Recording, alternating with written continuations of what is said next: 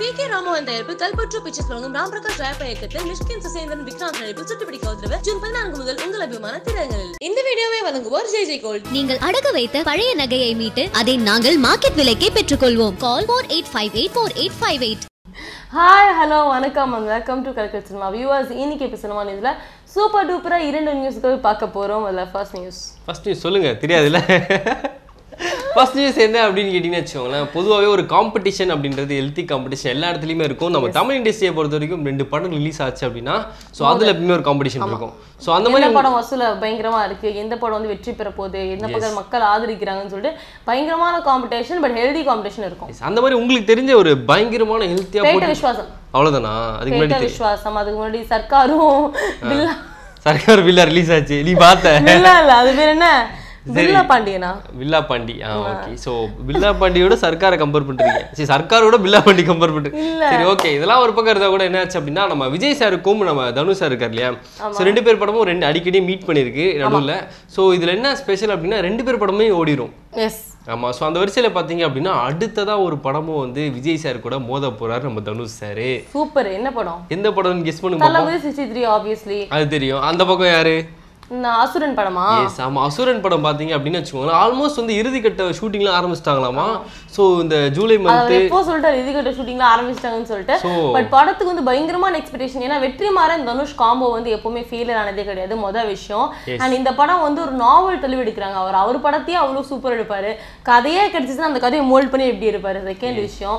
First look போஸ்டே பயங்கர super duper hit இதெல்லாம் ஒரு பக்கம் இருக்க போக ஃபர்ஸ்ட் லுக் போஸ்டரே இன்னும் வரல. ஆனாலும் இந்த படத்துக்கு ஒரு பயங்கரமான எக்ஸ்பெக்டேஷன் எல்லாத்து மத்தியிலும் அமைதியாக இருக்கு.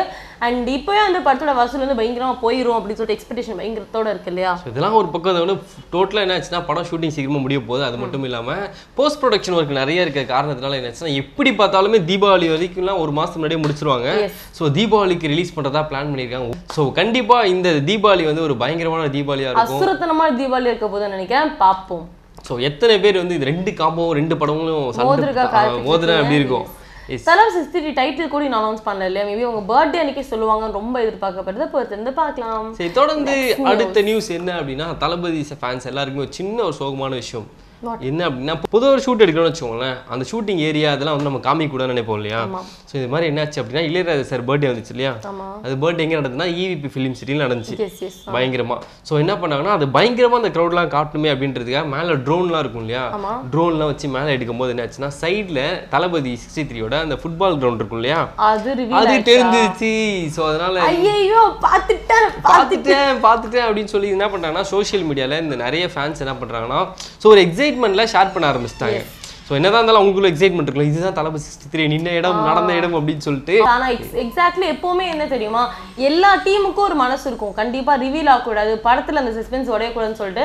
பட் லைனா வந்து பாத்தீங்கன்னா ஃபேன்ஸ் பண்ற அன்பு தொல்லைகள்னால லுக்கும் சரி ஸ்பாட்டும் சரி எல்லாமே ரிவீல் ஆயிட்டே இருக்கு.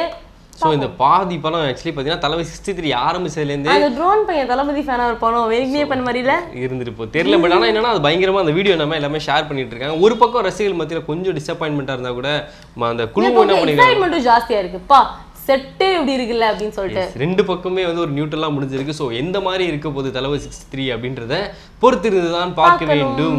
சொல்லிட்டு இந்த வீடியோ உங்களுக்கு பிடிச்சிருந்தா லைக் பண்ணுங்க கமெண்ட் பண்ணுங்க சப்ஸ்கிரைப் பண்ணிட்டு பெல் பட்டன் தட்டி விட்டுருங்க. மறக்காம ஷேர் பண்ணுங்க. தடவை வச்சு கேர் ஃப்ரம் மிலன் ஸ்வாதி கிருஷ்ணன். கலெக்டர் சினிமா மூவி டிக்கெட் கான்டெஸ்ட்டில் போன வாரத்துக்கு நிறைய பேர் கரெக்டான ஆன்சர் பண்ணீங்க டிக்கெட்டும் வின் பண்ணியாச்சு. ஸோ இந்த வாரத்துக்கான கேள்வி என்ன அப்படின்னா கொலைகாரன் படத்துக்கு யார் music director option A Yuvan Shankar Raja option B Sam CS option C Harris Jayaraj. Option D Simon K King.